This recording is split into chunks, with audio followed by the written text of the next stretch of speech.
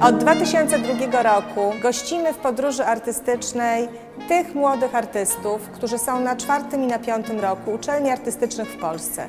Gościmy ich w podróży, którą organizuje Sopockie Towarzystwo Ubezpieczeń Ergohestia.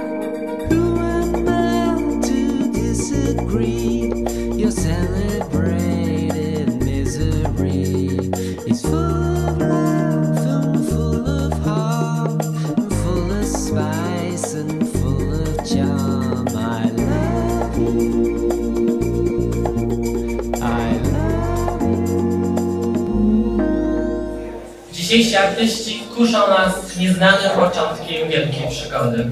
A zatem odważmy się rozpocząć naszą artystyczną podróż razem z nimi. Uważam, że takie wystawy na pewno mają wpływ na, na, na, na rynek sztuki, na, patrząc na zainteresowanie osób tutaj przybyłych, to na pewno.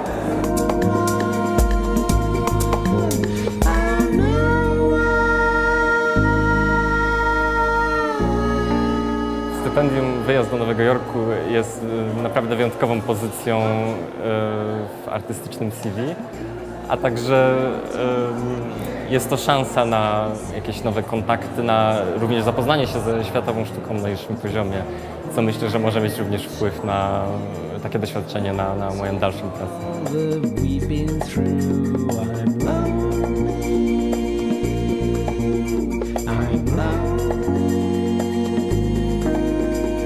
Od 12 lat młodzi artyści wchodzą w świat, mogą pojechać gdzieś, zobaczyć coś, a teraz będą mogli jeszcze się wystawiać.